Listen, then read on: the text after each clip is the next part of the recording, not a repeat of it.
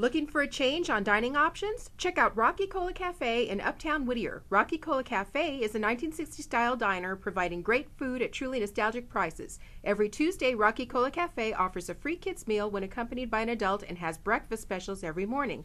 Rocky Cola Cafe is an ideal place for group gatherings, birthdays, and even after work get togethers.